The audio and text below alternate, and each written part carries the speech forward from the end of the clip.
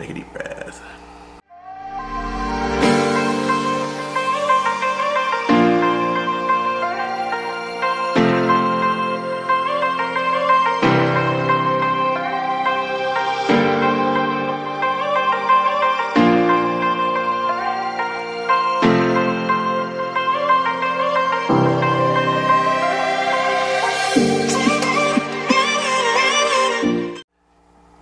Good morning, good afternoon, good evening, wherever you are, to all my worm danglers out there.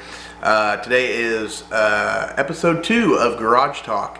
Um, today we're going to do the follow up to the last episode, the episode one, which was the murder episode, uh, where I talked about the murder that I had witnessed as a young child. Uh, I was 13, 14 years of age. I guess I wasn't a child, I was just a teenager, but whatever. Um, first of all, I want to start out I want to correct a few things. Um, I know I said that my brother picked my mom up from the house that day uh, uh, after Ed had been shot and killed. Uh, my brother, I said my brother had came home to pick her up and take her to the hospital. Uh, I was corrected by that. It was actually my cousin. Uh, she came over and picked him up, or picked up my mother and took her to the hospital.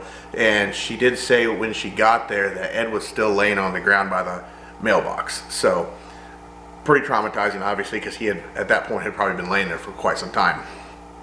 Uh, obviously, he was deceased. Like I said, he he was actually killed instantly. Um, that was one thing. The other thing um, was my brother had told me that they had actually went. My mom and Ed the night before had went to uh, the basketball game at the high school but they didn't go to watch his son. They actually went to watch his daughter dance in the dance team or for the dance team. Uh, so that was one thing that I wanted to make sure I corrected. Um, not that any of that really makes makes the story any different or anything different from what happened. I guess I, I don't know how to explain it, but the fact is, I, I wanted to make sure I, it's, it's, correct. Um, those were a couple details that I couldn't really remember. I still don't really remember how my brother I don't remember if he got to the hospital. I don't remember where he came in. Um, that was one thing I just I could not remember how how and when he he was notified and how he got back to the house or how he got with my mom or whatever because like I said after the hospital I went home I went home with my dad and he lives several uh, like 30 miles away and uh, I remember staying there that night and I didn't come home for a couple days um, so that was the biggest thing um, also I want to kind of go over uh, life after witnessing a murder. Um, like I said, after that had all happened, I went to court and went through all that. And that was one of the things that was very, very hard to do. Um, not only was the murder itself hard to go through, but try going to a courthouse and sitting there in a courthouse. And this is this is a, a, a an image that is extremely hard to get out of your head um, or memory, I guess you should say. I'm sitting in the courthouse. One of the very first times we had to go to court, uh, sitting in the courthouse, and people are going around passing out, I want to say it was blue ribbons, I think it was, in support of the guy who shot Ed. That, let me explain to you, being a teenager, a young teenager, and having someone basically flaunting in front of you that they had supported this guy for killing somebody. I don't know about you, and and I'm I understand people think different things, but wow, how do you support a murderer? Somebody who now uh, it's, it'd be different if if there was a slight chance he was innocent. You know that I, I could see that, um, but somebody who who did this admitted to did this, turned themselves in for doing this, and is pleading basically guilty. You know, uh, how could how do you how is everybody in the town supporting that? You know, that, that was always something that got me. How are they always on his side? Um, man, let me tell you, that was hard. That was one of the hardest things to drive around town and you'll see in people's front yards uh, a big blue ribbon on their tree yeah, I can't even explain to you how that made me feel. Um, that was also along with the, the I mentioned the uh, it wasn't Facebook back then, but we had like a group chat on one of the school websites or something, and uh, reading the the messages about people about how oh he deserved it, he you know he did this and he did. these people didn't know him. They just heard rumors, and that's that's the worst thing. Don't believe a rumor that somebody is telling you because just because they say oh he was a bad person, he beats his kids. Well, okay, maybe he spanked him in public once and now you're saying that, or maybe his ex-wife, who is basically trying to, you know, make him look bad for whatever court reasons or whatever. You know, maybe get more money out of him from the divorce. I don't know. I'm not saying that's what happened, but I'm just saying in general. You know, that's how rumors start, and then those rumors hurt somebody, and it's really hard for somebody like me who's sitting there going, wow, none of these people even have a clue what's going on, or even know this guy, or, know, or really know the other guy and I, I know I'm rambling here, but it's just you know things that are all in my mind, especially with what you know happened. It, that was just a big part of my life for a long time was was how people can support him. But I mean, I guess it is what it is. It's, it's years ago now. Um, you know, so whatever. Uh, I guess that kind of made it, that that had kind of made me who I am. Um, just like you know, I'm not gonna get political, but I know like in, in politics, like there's there's people that I believe in, and you know, do I agree with everything they do? No, but I support them because they're trying to do the right thing, and the people who support the other person who is blatantly, obviously doing horrible things, and people support that, and I, I just don't get that. So um, I, I, think that that this murder and, and those instances in my life um, have made me who I am today uh, in that general area. I know that's kind of hard. I, am not very good at explaining it, but I hope I hope you understand what I'm trying to say. See what else was there? Life after it was just weird um, because I, I, still had to go to school, so I still had to go with kids who were asking me questions, and I, you know, so it was just really weird to kind of walk around in school and, and people, you know, knowing what's going on in town, and they, you know, think you're weird or think you're different because you you know you witnessed a murder, blah blah blah, whatever. Um, also, you know, like I said, I was in eighth grade, so I went through all summer just kind of trying to stay not really in the in the limelight, I guess you'd say. Um, and I don't even think I went to the fair that year because I just, just didn't want to be around people. Um, going into my freshman year of high school was a whole different story.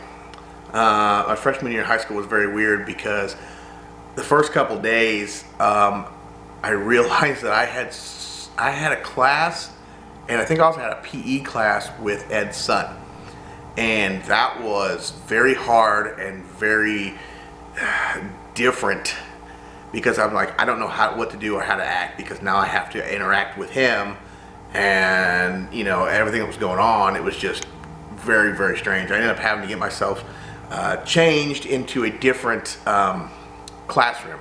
Uh, and for like my PE, I had to get it changed so I was in a different PE class, so I wasn't in with him too, just to try to keep myself separated. Um, later on in life, though, I've actually got to know him. I think he's actually a really good guy. Um, Ed's son is, is a really nice kid. I, have never met Ed's daughters, but I have met Ed's son, and uh, I think he's a really good guy. Uh, I, have nothing against him, nothing wrong, you know, there's just nothing against him. I, I like him. He's a good guy. So also one of the things I wanted to bring up too was, you know, with this whole life after this, um, uh, when I finally did go home uh, after the first couple days of staying with my dad, um, I remember I couldn't get myself to walk to my front door uh, because right outside the front door was the mailbox. This is where everything went down. Um, that's where Ed had been shot and killed. Um, so I remember for, man, it probably been, I don't know, a month or two maybe. I couldn't, I couldn't get myself to walk through the front door. I had to go, I had to go through the garage or I would enter the house through the back door because I just couldn't get myself to go out there. I wouldn't go out to get the mail. Nothing. I, I could not go out there. I, I remember before trial, the, um, some of the detectives uh, and the crime scene investigators came to the house and they wanted me to come out and talk to them. And that was, that was hard that was very, very hard to come out to talk to anybody about what had happened. And I had to stand out there where this had all gone down. So that was very, very hard for me. Uh, like I said, at that point, I think shortly after that is when I actually started to walk back out to the mailbox again because I, I had to go out there to show them where everybody was standing and this and that and kind of talk to those investigators. So shortly after that, I finally got on my feet and said, you know what, it's time to just get over it. Uh, and, I, and I started living my life a little bit different after that. Um, I also, um, I think it was my freshman year.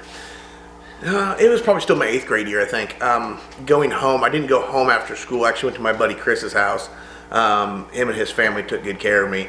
Um, I, I, went over there and I would hang out and just kind of wait for my mom to get off work. That way, I wasn't at home by myself. I was, I was, you know, I was a kid. I, I, I was very scared to be at home by myself, or, you know, I didn't know what anybody was going to do to me, especially with all the rumors and stuff that were going around town about, you know, how I was a liar and this and that, you know so it, it, it made me very nervous and, and it's probably something who later in life here you know I, have got an issue with paranoia anyway uh, paranoia and anxiety are pretty much my life now.